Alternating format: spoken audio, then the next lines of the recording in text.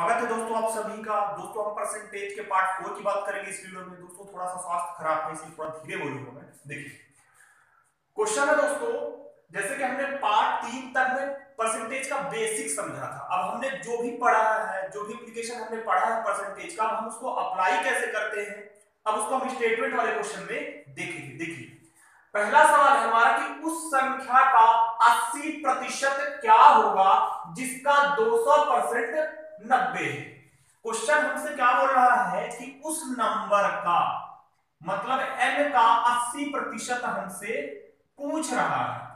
और जबकि हमको ये बोल दिया कि जो n है n का 200 प्रतिशत किसके बराबर है? 90 के बराबर है। तो हमको इस नंबर का कितना प्रतिशत निकालना है? 80 प्रतिशत निकालना है। देखिए, क्या कर सकते हैं? हमें पता है कि उस नंबर का 200 प्रतिशत कितना है? 90 तो जब 200 प्रतिशत 90 के बराबर है तो एक प्रतिशत निकाल सकते हैं हम तो एक प्रतिशत बराबर 90 बटे 200 ठीक? कितना प्रतिशत पूछा है हमसे? 80 प्रतिशत। तो 80 से मल्टीप्लाई कर देंगे, इधर भी और इधर भी। तो ज़ीरो से ज़ीरो। दो एक कम, दो चौको आठ नौ चौको छत्तीस। तो वह संख्या जिसका 200 प्रतिशत नब्बे है, उस संख्या का 80 प्रतिशत कितना होगा?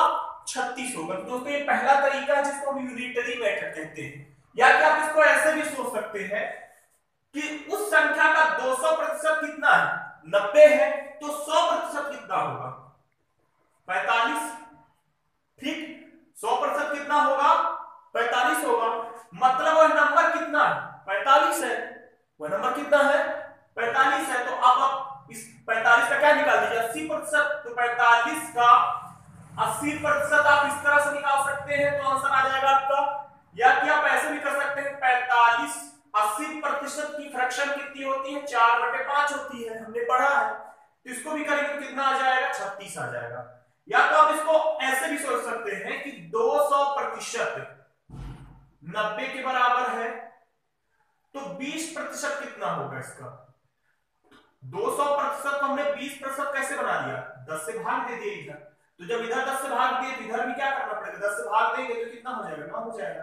तो 200 प्रतिशत नब्बे है तो 20 प्रतिशत कितना? 9 है। अब हमको कितना प्रतिशत पूछा है? 80 तो 20 प्रतिशत से पहुँचना कहाँ है? 80 प्रतिशत पहुँचना है। तो 20 परसेंट का मैं कितना गुना कर दूँ कि 80 हो जाए? चार गुना। तो इधर भी 9 का कितना करना पड़ेगा? गुना। चार गुना। तो कितना हो जाएगा? 36 हमारे क्वेश्चन का आंसर हो जाएगा। तो दोस्तों, जैसा कि आपने देखा, ऐसे भी कर सकते हैं, ऐसे भी कर सकते हैं। और मेरे हिसाब से सबसे बेस्ट मेथड ये है यूनिटरी मेथड देखिए दोस्तों, अगला सवाल है, किसी संख्या का 25 प्रतिशत 650 के 18 प्रतिशत से 19 कम है तो वह संख्या क्या है? तो दोस्तों, इस सवाल में हमको पता क्या दिया है? उस नंबर का 25 प्रतिशत का मान दिया है। उस नंबर के 25 प्रतिशत का क्या दिया है? मान दिया है। और वह संख्या कितने प्रतिशत होगी? 100 प्रतिशत होगी, क्योंकि कोई भी जो चीज़ होगी, वो टोटल 100 प्रतिशत होती है। तो उस नंबर के 25 प्रतिशत का हमें क्या दिया है? मान दिया है। कितना दिया है? तो जो, उस नंबर का जो 25 प्रतिशत है 650 का 18 प्रतिशत है, और उससे क्या है? उन्नीस है। तो 650 का 18 प्रतिशत कितना होता है? तो कैसे निकालना माइंड में कैलकुलेट करना है। 18 प्रतिशत को क्या लिख सकते हैं? 20 प्रतिशत माइनस दो प्रतिशत। तो 650 का 10 प्रतिशत कितना? पैंसठ। तो 20 प्रतिशत के लिए क्या करेंगे? दो से गुणा कर देंगे तो कितना हो जाएगा? 650 का 20 प्रतिशत बराबर कितना? 130 और दो प्रतिशत कितना होता है? एक परसेंट कितना है 650 का? छह दशमलव पाँच। दो प्रतिशत बराबर कितना? छह दशमलव पाँच गुणे दो कितना हो जाएगा? तेरह हो जाएगा। तो 130 में क्या कर देंगे? तेरह घटा देंगे। ऐसे ही करेंगे ना? तो 650 130 में 113 घटाएँगे आप कितना आ जाएगा? 117 तो 650 का 18 परसेंट कितना आ गया? 117 और ये जो 650 का 18 प्रतिशत आया, उससे कितना कम है? 19 कम है। तो 17 में नौ कितना? 8 हो जाएगा। और ये कितना हो जाएगा? 98 मतलब उस नंबर के 25 प्रतिशत का मान कितना है? अंठानवे मतलब 98 है। लेकिन क्वेश्चन में हमसे घुमा के ये नहीं बोला कि इस नंबर का 25 प्रतिशत नाइनटी है। उसने ये बोला कि 650 के 18 प्रतिशत से 19 कम जो कि कितना होता है? 98 होता है। ठीक? तो 25 प्रतिशत की कीमत है 98 तो एक प्रतिशत की कीमत कितनी? 98 बाय 25 अब कोई भी नंबर है, वह संख्या क्या है? तो कोई भी नंबर होगा अपने आप में 100 प्रतिशत होगा। तो क्या करेंगे? 100 से गुणा कर देंगे इसमें तो 25 एकदम 25 चौको। तो दोस्तों, ये अंठानवे सौ में कितना कम है? दो कम है। तो 100 चौको 400 और 100 में दो कम और इस तरह से चार बार दो दो कम है। तो 400 में दो चौको, आठ। कितना घटाएँगे? आठ में कितना आ जाएगा? तीन सौ बानवे। तो क्वेश्चन हमारे आंसर कितना हो जाएगा? तीन सौ बानवे। देखिए दोस्तों, अगला क्वेश्चन हमारे पास। किसी संख्या का सैतीस सही एक बटे दो प्रतिशत नौ सौ है। तो उस संख्या का छाछठ सही एक बटे दो प्रतिशत कितना होगा, ये हमारा सवाल है। तो दोस्तों, हमने पढ़ा था कि सैतीस सही एक बटे दो को हम ये लिख सकते हैं, सैतीस दशमलव पाँच प्रतिशत, और इसकी फ्रैक्शन कितनी होती है? तीन बटे आठ हमने कल पढ़ा है वीडियो में। फिर छाछठ एक बटे दो प्रतिशत को क्या लिख सकते हैं? छाछठ दशमलव पाँच प्रतिशत हम लिख सकते हैं। और ये किसका, इसकी फ्रैक्शन क्या होती है दोस्तों? पाँच बटे आठ। तो दोस्तों, हमसे पूछा क्या है? किसी संख्या का, ये इस तरह से हम पढ़िए पढ़िए। किसी संख्या का तीन बटे आठ नौ सौ है तो उस संख्या का पाँच बटे आठ क्या होगा? तो मान लेते हैं कि जो नंबर है, हमारा एन है और इस नंबर का जो तीन बटे आठ है, उसका हमें मान दिया है। कितना दिया है? नौ सौ। तो नंबर कितना है हमारे पास? नौ सौ गुणे आठ बटे तीन। हाँ? अब हमें करना क्या है कि ये जो आएगा, इस नंबर में क्या निकालना है? पाँच बटे आठ निकालना है। हल कर दीजिए, आंसर आ जाएगा। तो आठ से आठ कट गया, तीन एक कम, और ये हो जाएगा तीन तिकाई नौ और ये हो जाएगा कितना? पंद्रह सौ। क्वेश्चन का हमारे आंसर हो जाएगा। देखिए दोस्तों, अगला क्वेश्चन कुछ इस तरह से हमारे पास। किसी संख्या का ग्यारह प्रतिशत, उसी संख्या के सात प्रतिशत से अठारह ज़्यादा है तो वह संख्या क्या है? दोस्तों, हमें ये तो पता है कि कोई भी नंबर होगा तो अपने आप में कितना प्रतिशत होगा? सौ परसेंट। तो मान लेते हैं हमारे पास कोई नंबर है और कितना प्रतिशत है? सौ परसेंट। अब बोल ये रहा है कि ये जो नंबर है, इस नंबर का अगर हमें ग्यारह प्रतिशत ले लें, इस नंबर का क्या ले लें हम? ग्यारह प्रतिशत और इसी नंबर का हम क्या ले लें अगर? सात प्रतिशत ले लें। तो 11 प्रतिशत जो है, इस सात प्रतिशत से कितना ज़्यादा है? 18 ज़्यादा है। देखिए, अगर मैं आपसे ये बोलूँ, नौ चार से कितना ज़्यादा है? तो आप क्या बोलेंगे? पाँच। नौ चार कितना ज़्यादा है? पाँच। तो इस पाँच को मैं ये लिख सकता हूँ, नौ माइनस चार। तो ये ग्यारह प्रतिशत सात से अठारह ज़्यादा है। तो मैं ये लिख सकता हूँ, ग्यारह प्रतिशत माइनस सात प्रतिशत बराबर कितना? अठारह। तो ग्यारह प्रतिशत में सात प्रतिशत कितना? चार प्रतिशत बराबर कितना? अठारह। मतलब अगर हम नंबर में बात करें तो ग्यारह प्रतिशत से सात प्रतिशत तो नंबर में अठारह जाता है और वो किसके बराबर है? चार परसेंट के बराबर है। मतलब चार परसेंट किस, किसके बराबर है? अठारह के बराबर है तो एक प्रतिशत कितना होगा? अठारह बटे चार।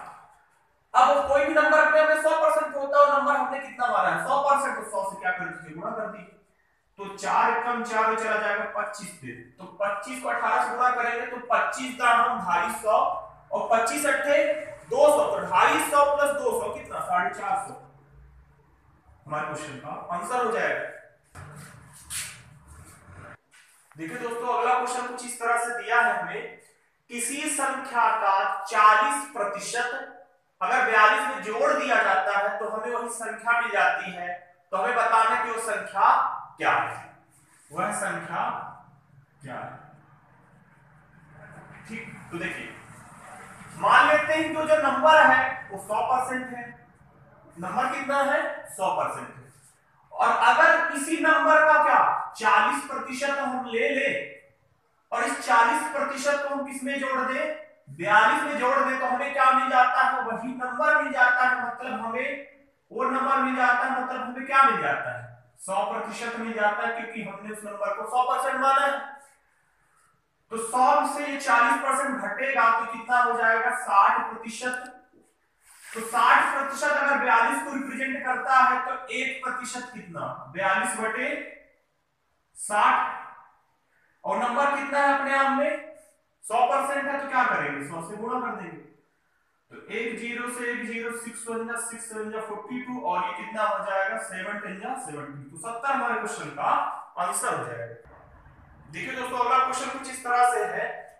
यदि किसी स्कूल में पचहत्तर प्रतिशत विद्यार्थी लड़के हैं और लड़कियों की संख्या 420 है तो लड़कों की संख्या ज्ञात करें। तो देखिए, विद्यार्थी की अगर हम बात करेंगे तो विद्यार्थी में लड़का भी आ जाता है और लड़की भी आ जाती है। तो विद्यार्थी कितने प्रतिशत होंगे? पूरे के पूरे सौ प्रतिशत। ठीक अब इस सौ प्रतिशत में बॉयज़ कितने हैं? हमें दिया है। पचहत्तर प्रतिशत। तो सौ प्रतिशत में अगर बॉयज़ कितने हैं? पचहत्तर प्रतिशत तो लड़कियाँ कितनी होगी? गर्ल्स पच्चीस प्रतिशत। प्रतिशत में कितनी होगी लड़कियाँ? पच्चीस प्रतिशत। और दोस्तों, लड़कियों की संख्या हमें दी है। कितनी? चार सौ बीस। मतलब ये जो पच्चीस प्रतिशत है, ये रिप्रेजेंट करता है किसको? चार सौ बीस को। तो एक प्रतिशत बराबर कितना होगा? चार सौ बीस बटे कितना? पच्चीस। अब दोस्तों, अगर हमें टोटल विद्यार्थियों की संख्या अगर निकालनी होती तो सौ का गुणा करते। लेकिन हमसे पूछा क्या है? लड़कों की संख्या पूछा है। तो लड़कों की संख्या प्रतिशत की कितनी है? पचहत्तर प्रतिशत तो क्या करेंगे? पचहत्तर से मल्टीप्लाई कर देंगे। तो पच्चीस एकम पच्चीस त्याई तो 420 त्याई पूरा करना है। तो देखिए 420 दूनी 840 और 840 में 420 जोड़ेंगे तो हो जाएगा 1260 आ जाएगा। ये हमारे क्वेश्चन का आंसर होगा। मतलब लड़कों की देखिए दोस्तों, अगला सवाल कुछ इस तरह से है कि एक विद्यार्थी किसी परीक्षा में 23 अंक प्राप्त करता है 23 प्रतिशत अंक प्राप्त करता है। यहाँ पे प्रतिशत है। 23 प्रतिशत अंक प्राप्त करता है और वह 15 अंक से फेल हो जाता है। और दूसरा कोई विद्यार्थी है जो 35 प्रतिशत अंक प्राप्त करता है और 21 अंक से पास हो जाता है। तो पहला विद्यार्थी 23 प्रतिशत अंक पा रहा है और 15 अंक से फेल हो जाता है। दूसरा विद्यार्थी 35 प्रतिशत अंक प्राप्त करता है 21 अंक से क्या हो जाता है पास हो जाता है। पहले आप क्वेश्चन को समझे, थोड़ा सा भाषा को समझे। देखिए, यहाँ पे एक लाइन है, ये पूरी लाइन है, और यहाँ पे मैं मान लेता हूँ कि पासिंग बाउंड्री मतलब इसको जो टच कर लेगा, वो क्या हो जाएगा? पास हो जाएगा। तो अगर हम पहले विद्यार्थी की बात करें तो कितना प्राप्त करता है? तेईस प्रतिशत अंक प्राप्त करता है। तो मान लेते हैं तेईस प्रतिशत प्राप्त करता तो यहाँ तक पहुँचता है और यहाँ तक इतनी डिस्टेंस पार को टच नहीं कर पाता। और ये जो डिस्टेंस है ना, ये पंद्रह नंबर की मतलब अगर पंद्रह नंबर और पाता तो यहाँ पे पहुँचता मतलब पास हो जाता वो। ठीक? फिर दूसरा विद्यार्थी कितना प्राप्त करता है? पैंतीस प्रतिशत अंक प्राप्त करता है ठीक? और वह इक्कीस अंक से पास हो जाता है। तो दूसरा विद्यार्थी कितना पाता है? पैंतीस प्रतिशत। ठीक? और ये पैंतीस प्रतिशत की जो डिस्टेंस है पासिंग लाइन से कितना ज़्यादा है? इक्कीस नंबर क्या है, ज़्यादा है। तो दोस्तों, इस तरह के क्वेश्चन में हमको करना क्या होता है कि पहला वाला विद्यार्थी हमारा मान लेते हैं ए है, दूसरा वाला बी है। तो पहला वाला पंद्रह नंबर और पा जाता तो पास हो जाता। और दूसरा विद्यार्थी इक्कीस नंबर पासिंग मार्क्स से इक्कीस नंबर ज़्यादा पाया। है तो हमें इक्वेशन बनाने के लिए करना क्या होता है? यहाँ पे बराबर का साइन लगाना है। तो बराबर का साइन तभी लगा सकते हैं एलएचएस बराबर जब क्या हो? आरएचएस तो इसलिए हमको करना क्या होगा कि आप क्या करिए, जब भी ऐसा सवाल हो तो दोनों विद्यार्थी को पास कर दीजिए। क्या कर दीजिए? पास कर दीजिए। तो अगर पहले विद्यार्थी को पास करना हो तो पहले विद्यार्थी ने कितना प्रतिशत प्राप्त किया? तेईस प्रतिशत प्राप्त किया। और पंद्रह नंबर से फेल हुआ मतलब पंद्रह नंबर नहीं पाया। तो उसको आप क्या करिए पंद्रह नंबर और दे दीजिए। तो ये पहला विद्यार्थी क्या हो गया? पास हो गया। फिर अगर दूसरे विद्यार्थी की बात करें तो पैंतीस प्रतिशत अंक प्राप्त करता है और पासिंग नंबर से इक्कीस नंबर ज़्यादा पाता है। तो इसको भी क्या करना है? इसके बराबर करना तभी तो बराबर का साइन लगेगा। तो क्या कर दीजिए? दूसरे विद्यार्थी को भी केवल पास कर दीजिए। तो माइनस इक्कीस कर दिए। अब ये इक्वेशन इस तरह से बन गया। अब ये दोनों बराबर हो गए। अब इसको हल करिए। तो 35 प्रतिशत में 23 प्रतिशत घटेगा तो कितना प्रतिशत? 12 प्रतिशत और 15 में ये 21 जुड़ जाएगा, कितना हो जाएगा? 36 तो 12 परसेंट, बारह कम बारह बारह तो छत्तीस। मतलब क्या है कि एक प्रतिशत बराबर कितना? तीन नंबर। ये आपको ध्यान रखना है कि एक प्रतिशत रिप्रेजेंट करता है तीन नंबर को, या तीन नंबर रिप्रेजेंट करता है एक प्रतिशत को, वन परसेंट को रिप्रेजेंट करता है। पहला क्वेश्चन क्या है कि पूर्णांक कितने का था? तो दोस्तों, पूर्णांक हमेशा सौ परसेंट ही होगा, क्योंकि आप हमेशा जब परसेंटेज निकालते हैं तो सौ से गुणा करते हैं तो पूर्णांक कितने का होगा? सौ प्रतिशत का। तो एक प्रतिशत तीन नंबर है तो सौ प्रतिशत कितना? पूर्णांक सौ प्रतिशत है, एक प्रतिशत तीन नंबर है। तो सौ प्रतिशत कितना? सौ गुणे तीन तो पूर्णांक दोस्तों तीन सौ नंबर। हाँ। फिर पूछा पासिंग नंबर कितना है? Passing number. तो देखिए, एक प्रतिशत रिप्रेजेंट करता है तेईस नंबर, तीन नंबर को। तो अगर आप चाहें तो पहले विद्यार्थी को ले लीजिए, चाहे तो दूसरे विद्यार्थी को भी ले सकते हैं। तो एक प्रतिशत रिप्रेजेंट करता है तीन नंबर को।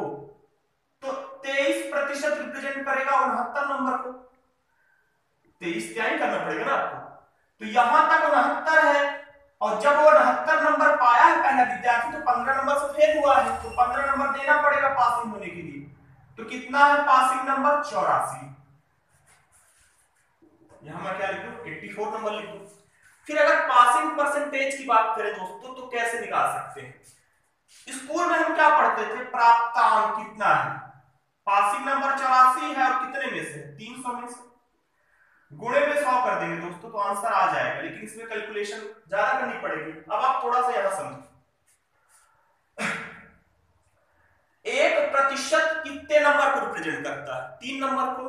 एक प्रतिशत कितने नंबर को रिप्रेजेंट करता है? तीन नंबर को। तो ये चौरासी नंबर कितने प्रतिशत को रिप्रेजेंट करता है? जैसे तीन नंबर एक प्रतिशत को प्रदर्शित करता है। तो चौरासी हमारा पासिंग नंबर है और चौरासी जब तीन नंबर एक प्रतिशत को रिप्रेजेंट करता है तो चौरासी जो नंबर इसको हम परसेंटेज में बदलेंगे तो कितना प्रतिशत होगा? तो कैसे देख सकते हैं? चौरासी को आप क्या कर दीजिए? मतलब चौरासी में कितने बार तीन आया होगा? ये पता करने के लिए तीन से भाग देना पड़ेगा। तो चौरासी में तीन कितनी बार आया अट्ठाईस बार एक परसेंट तीन नंबर है। तो कितना हो जाएगा? पासिंग परसेंटेज दोस्तों कितना हो जाएगा? Twenty eight percent. तो पासिंग परसेंटेज चाहे तो आप ऐसे निकाल सकते हैं या कि आप अच्छा होगा कि इस तरह से आप देख लें कि एक परसेंट रिप्रेजेंट करता है तीन नंबर को, या कि तीन नंबर रिप्रेजेंट करता है एक परसेंट को। तो चौरासी नंबर पासिंग नंबर है और एक परसेंट तीन नंबर के बराबर है तो चौरासी में तीन कितनी बार आया होगा? अट्ठाईस बार। तीस भाग दे दिए तो अट्ठाईस प्रतिशत हमारा पासिंग प्रतिशत है। पासिंग नंबर चौरासी और पूर्णांक हमारा कितने का है? तीन सौ का। उम्मीद है दोस्तों, वीडियो आपको अच्छा लगा होगा, आपको समझ में आई होगी सारी चीज़ें।